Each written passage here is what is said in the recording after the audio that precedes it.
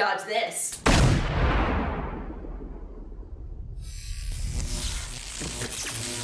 Hey guys, this is Dodger with the Game Station, and you are watching Dodge This, which is my show where I talk to nerdy awesome people about the nerdy awesome things that they do.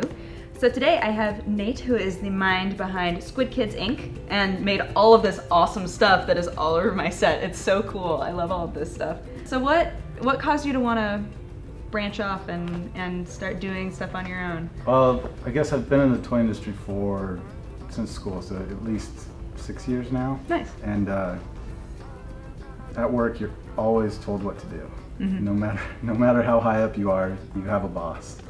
And this was my chance to actually do what I wanted to do without anybody saying no. Yeah, Whether people like it or not, that's up to them. But I like it, and hopefully other people like it. I like it. So you're able to just uh, be yourself, do Yeah. whatever. Yeah. That's cool. How did other people? Because it's it's more than just you. Like it's a yeah, it's a few people together. Well, it's me and my girlfriend helps out a lot, Mhm. and I've had a couple friends help out here and there, with, whether it's graphics or uh, just brainstorm ideas and stuff. So. Mhm. Did you did you just like ask them to come on, or, or did they just show a lot of interest in what you were working on? And Yeah, it's usually at work. You know, I'll show them what I've been doing at home, that kind of thing. We just share, and it's kind of a collaborative Yeah. feel. yeah, as much as we can. And usually I can't do it all myself, Right. so I need help.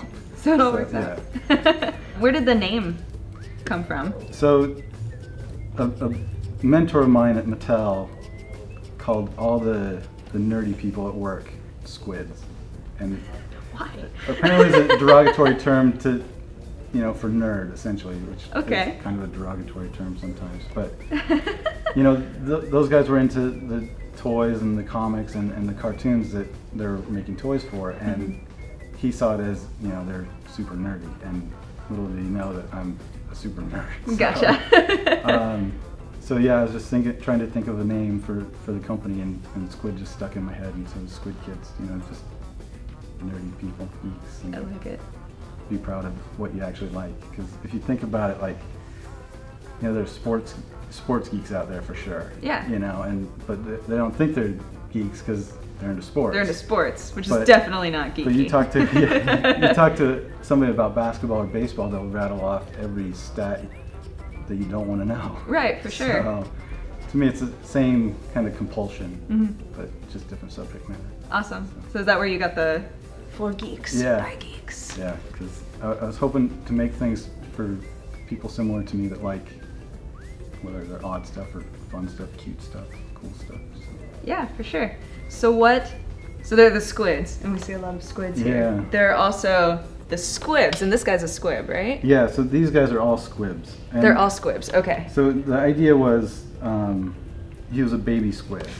Okay. So They're and so it- and it's cute. actually a baby squid skull is how it really started because my company logo was a squid skull and squids don't have skulls, but I drew a squid skull. So I drew a baby, or I sculpted and drew a baby squid skull and called him a squid. And this is the beat up one. It's all shot. Aw, But uh, that's so sad. yeah, so, and then it just kind of evolved into more more character than logo or, you know, kind of icon based. So Yeah, for trying, sure. trying to develop a story for it. Hopefully, it's a little invasion story of Earth, and these guys are taking over the planet, kind of. So I like it. They're got a, fun. got a long ways to go on that one. well, it's it's cool seeing like how many like you have bags with it on it and like all sorts of different yeah, stuff. little little purses. Yeah.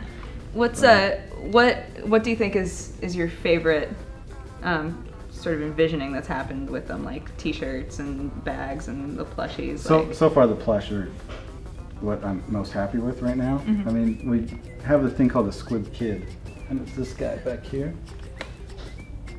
And so the idea was with this is it's part of the story where he gets a collar put around his neck, and all his little tentacles form his body. So then he's, he's walking around more humanoid, Okay. and uh, he partners up with a little human boy, and they they'll actually probably defend off the invasion of the squibs. I like it. It's not quite worked out yet, but hopefully it's a good story. That's cool. Do you, do you want to expand it into like a like a comic or like a yeah, show? it'll or- probably. I think thing will be come first as a storybook, Mhm. and uh, of course I want it to be more than that. I'd love to do a video game of it Yeah. somehow, and uh, maybe cartoon or something. You know, I want it to be more than just product. Well, this actually has to be the end of our first video, but if you guys would like to see the second part, you can go ahead and click on this awesome, huge uh, Nintendo cartridge that he brought in, and it will take you to my channel Press Heart to Continue. Otherwise, thank you so much for joining Thank us, and tune in next time to see who we have next. Bye-bye.